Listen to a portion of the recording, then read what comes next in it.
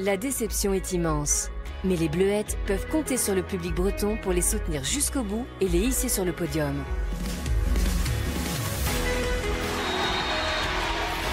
Petite finale de la Coupe du Monde des moins de 20 ans, à vivre vendredi à 15h50 en direct sur C8.